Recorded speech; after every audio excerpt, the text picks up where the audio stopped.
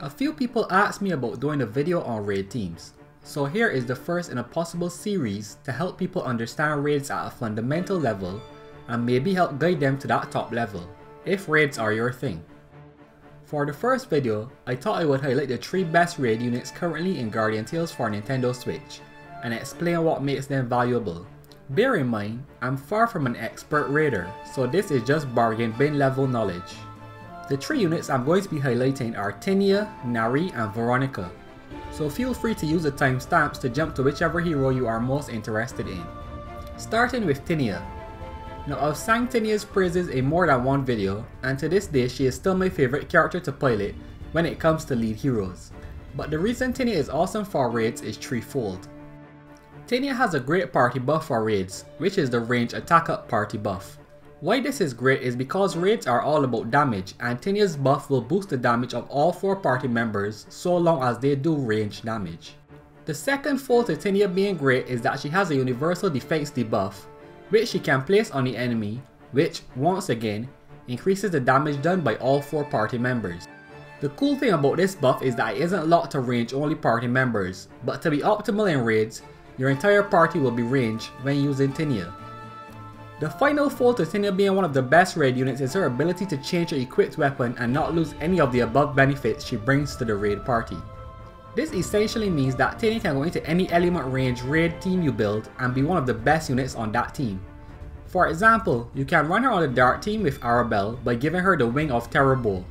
She can be placed on the light range team with Gabrielle if you have an extra copy of Gabrielle's bow, or any other light bow for that matter and she can even be on the water range team with Garam, equipping either Garam's exclusive bow or Catherine's exclusive bow. And this flexibility is why Tinia is so great, not only in raids, but if you ever need a flex unit in any other PvE mode. Now we will cover Nari next as she is very similar to Tinia, with very few nuanced differences. First, she has the exact same party buff of range attacker, so I don't need to explain that again. Second, she has a defense down ability, but with a slight twist. Tinia's defense down is universal, meaning it drops both melee and range defense. Nari on the other hand specifically only drops range defense. Now this isn't a big deal as Nari is mainly going to be on range teams anyways, but it is something to note. Two other notes about her defense down. The percentage amount is bigger as she decreases range defense by 20%, while Tinia decreases all defense by 10.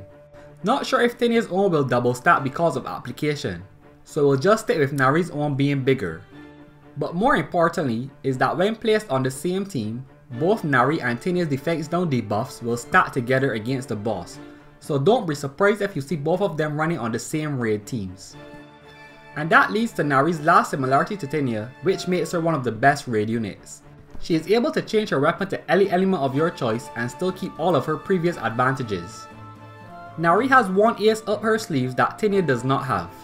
After using her chain skill, Nari will boost the critical hit chance of all party members by 10% for 10 seconds, which again means more damage overall. And this one extra ability is probably able to make me rate her slightly higher than Tinia for raids. Now the final hero is Veronica, and she is quite different from the first two. Out of the three, she is the only non-DPS hero on the list, but she does share one good raid trait with the other two, and that is she does not need her exclusive weapon and can fully swap it out for any weapon that matches the element of the team you are placing her on. Veronica's specialty in raids is increasing the damage the other 3 members will do. So instead of a 4th DPS unit, Veronica can actually take slot 4 and still allow your team to do insane numbers. She does this by being a critical stat bot mostly. Her ability to increase the critical rate and critical damage of your party should not be underestimated. One more thing I want to add about Vero is that she ages like fine wine. You will not be disappointed if you invest into her as she only gets better and better with future updates. And that's it. My name is Koujex and you can expect more Guardian Tales videos in the future.